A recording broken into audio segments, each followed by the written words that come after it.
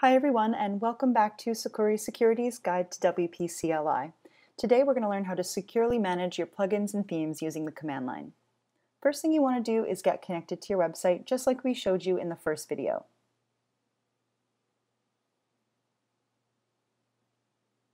Once you're connected to your server, you can just type WP theme list and this will show you all the themes that you currently have installed. You can see I just have one and the status is currently active and there's no updates available. It also shows the version number. You can do this with plugins as well. WP plugin list will show you all the plugins that you have and as you can see some of the ones here are inactive and some of them also have an update available. Next, if we just want to update one of the plugins, we can type WP plugin update and then the slug of the plugin. So this one we're going to use is WordPress SEO. Once you enter that command, it's going to download the plugin and remove the old version. And you'll get a success message when it's complete. You can also type WP plugin update all, and that will actually just update all of the plugins that have an update available. So this is a great way to really quickly get your website up to date. As you can see, now when we type WP plugin list, all of the plugins that are listed there are updated.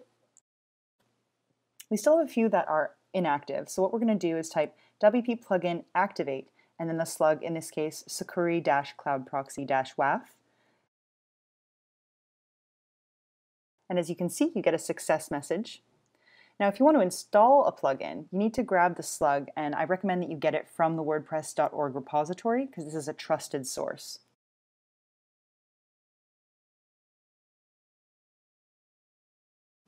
You can type WP plugin install Sucuri-scanner to install our Sucuri plugin, which is free for everyone.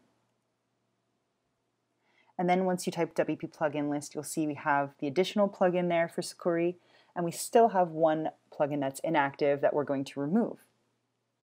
All you need to do to remove that one plugin is type WP plugin delete and the slug. You can do the same thing with any of the themes. Um, if you type WP theme update, it'll take a look. You can go WP theme update all if you have multiple themes. And then obviously you want to make sure that you're taking care to delete any plugins or deactivate any plugins that you're not using. Stay tuned for next time and we will show you how to install WordPress with WP CLI. Thanks for watching.